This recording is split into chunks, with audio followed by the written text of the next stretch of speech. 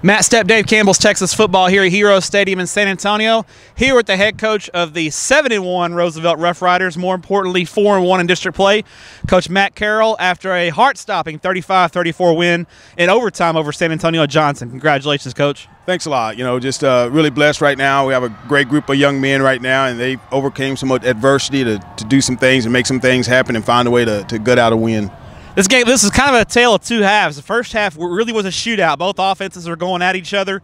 Uh, and the second half kind of uh, went into a defensive struggle. Um, for, from your perspective, what adjustments did you guys make defensively to slow down a really good offense over there? Well, I, I tell you, we just tried to do a better job of swarming and getting to the football, and I just find some areas that they were killing us with. And I thought our, our coaches made some small adjustments to take care of that a little bit, and uh, try to make them a little bit more one-dimensional, make them kind of try to throw the ball a little bit more, which we felt a little bit comfortable with, and and uh, just just did some good things. Really, just about the kids coming out and just stepping it up a notch. Talk about your quarterback, Dwayne Coleman. I, I thought Johnson uh, really they, they, were focused on containing Rashad in the running game, and I thought they did a pretty good job keeping kind of Rashad in check. But your quarterback, Dwayne, uh, not only made some plays with his feet, but in the in overtime especially made a big throw for that touchdown there to uh, to get you guys the, the eventual game-winning sco score. Uh, talk about your quarterback and the progression that you've seen him this season. Well, I mean he's a he's a younger kid. We, we know we know what his potential is, and, and so a little bit week by week he's had an opportunity to try to get better. And we used to rotate two of those guys, and we've kind of formulate more to him to help get some athletes on the field and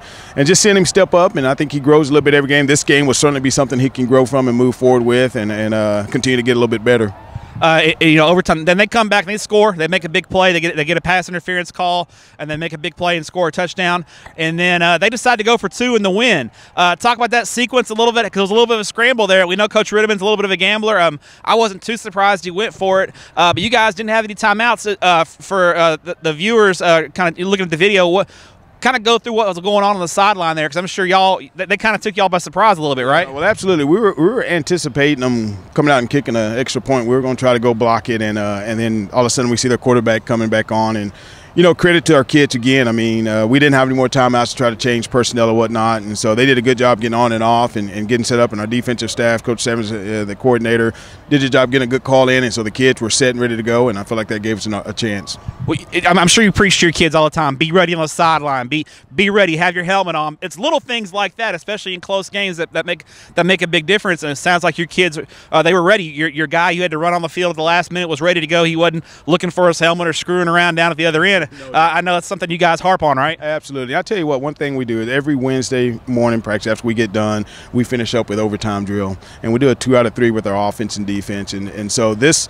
For, for these situations like this, when you get in the deal, it, it came second nature to our guys. We've done this, we've done it in practice, and it, it goes good and bad in practice sometimes, one side or the other. And so just kind of that calm to not buy a ticket for the roller coaster, get out two out low, and just kind of stay steady. And I thought it showed a little bit tonight. All right, final question for you. Saturday night, I know it's not it's a little not, not your normal routine, but a win like this, how, how do you celebrate? Is there is there a is there a post game meal that you're going for tonight, or what, what's what's the Coach Carroll uh, post uh, winning celebration uh, after a game? Well, honestly, right now, you know, this district is hard to celebrate too long because you got a big one coming back up. But honestly, I'm that guy that uh, I'll sit there and play every play in my head over and over again. I want to go to sleep, I just won't be able to go to sleep. So my wife, she's got a good wife at home. She'll sit there and listen to me go through everything as if she didn't just sit here and watch it. But but but she lets me off the hook, and that'll be kind of where we are. Coach, congrats on the win. Uh, good luck the rest of the season. It's getting down to playoff time, and hopefully uh, we'll come see you in uh, week 12. Sounds good. Appreciate it. Thank you.